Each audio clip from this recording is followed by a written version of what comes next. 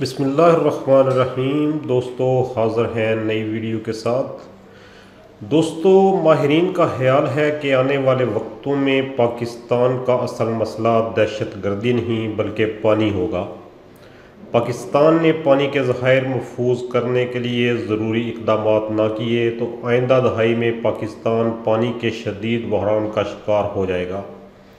Pakistan council of water resources کے مطابق پاکستان جس نے انیس سو نوے میں پانی کی کم سے کم ترین سطح کو چھوا تھا، دو ہزار پچیس تک اس سطح سے بھی نیچے آ جائے گا۔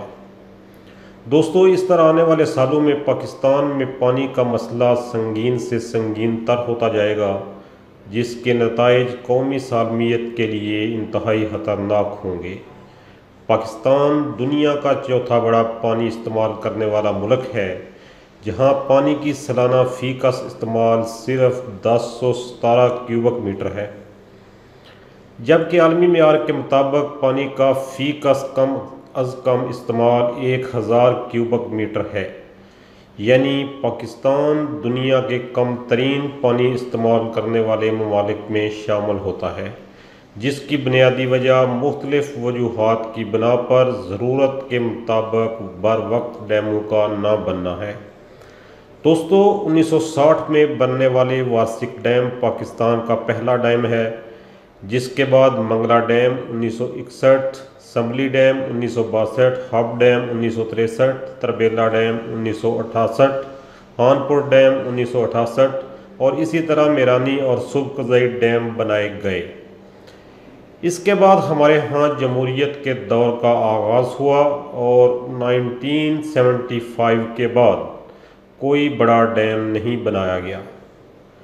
International commission on large dams کے مطابق پاکستان اس وقت فورٹی نائن فٹ اونچائی والے ایک سو پچاس ڈیم ہیں، جبکہ بھارت میں بتیس سو ڈیمز ہیں۔ پاکستان اپنے دریاؤں کا صرف دس فیصد پانی ذخیرہ کر سکتا ہے، جبکہ نوے فیصد پانی ضائع ہو جاتا ہے۔ دوستو، پاکستان کی پانی ذخیرہ کرنے کی موجودہ گنجائش صرف چودہ ملین ایکڑ فٹ ہے، جو کہ صرف تیس دن کے لیے کافی ہے۔ جبکہ بھارت ایک سو بیس دن تک اور امریکہ نو سو دن تک ذخیرہ کرنے کی صلاحیت رکھتا ہے۔ اسی طرح پاکستان اپنے دستیاب آبی وسائل کا صرف سات فیصد پانی ذخیرہ کرنے کی صلاحیت رکھتا ہے۔ جبکہ عالمی سطح پر یہ تناسب چالیس فیصد ہے، جس کی وجہ پاکستان اپنے دستیاب پانی کو ذخیرہ نہ کر کے سالانہ تیس سے پینتیس ارب ڈالر کا نقصان اٹھا رہا ہے۔ دوستو، جبکہ کالا باغ ڈیم دیا میر بادشاہ اور اکھوڑی ڈیم کی تعمیری لاگت تیس ارب ڈالر کے لگ بھگ ہے ماہرین کی رائے ہے کہ اگر کالا باغ ڈیم پروجیکٹ مکمل ہو جاتا تو اس سے چھتیس سو میگا واٹ بجلی صرف اڑائی روپے فی یونٹ میں عوام کو فراہم کی جا سکتی تھی۔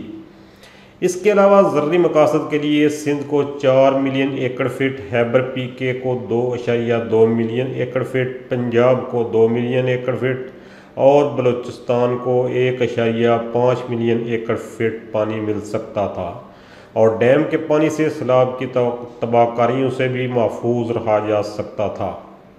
دوستو دیامی ڈیم، جس کے لیے گزشتہ دو منتخب حکومتوں کے ادوار میں کی جانے والی کوششوں کے بعد سابق chief justice justice Saqib Nisar نے بھی اسے عوامی سطح پر مہم کی شکل دی۔ اس کی تعمیر پر پندرہ سو ارب ڈالر کا تخمینہ لگایا گیا ہے۔ اس طرح کالا باغ ڈیم کی تعمیر کا تخمینہ بیس ارب ڈالر کے لگ بھگ ہے، جس کی تعمیر سے ہم ہر سال بھارت کی جانب سے چھوڑے جانے والے پانی کو ذخیرہ کر کے نہ صرف سیلاب سے محفوظ رہ سکتے ہیں، بلکہ ضروری اور توانائی مقاصد کے لیے بھی استعمال کر سکتے ہیں۔ دوستو، ایک اندازے کے مطابق دو ہزار پچاس تک ملکی آبادی بڑھ کر اکتیس کروڑ تک ہونے کی توقع ہے، جس سے ملک میں پانی کی طلب میں شدید اضافہ ہوگا، جس کے لیے ہمیں ہنگامی بنیادوں پر چھوٹے بڑے ڈیمز تعمیر کرنے ہوں گے۔ اس بات کو مد نظر رکھتے ہوئے وزیر اعظم پاکستان عمران خان نے گزشتہ دنوں مہمن ڈیم کا سنگ بنیاد رکھا ہے۔ کہا جا رہا ہے کہ ایک لمبے عرصے کے بعد اتنے بڑے ڈیم کی تعمیر کا آغاز ہوا ہے۔ محمد ڈیم ضلع محمد میں دریائے سوات پر منڈا ہیڈ ورکس سے پانچ کلومیٹر اپ سٹریم تعمیر کیا جا رہا ہے۔ سات سو فٹ بلند ڈیم میں بارہ لاکھ نو ہزار ایکڑ فٹ پانی ذخیرہ کیا جا سکے گا، جبکہ آٹھ سو میگاواٹ بجلی پیدا ہوگی۔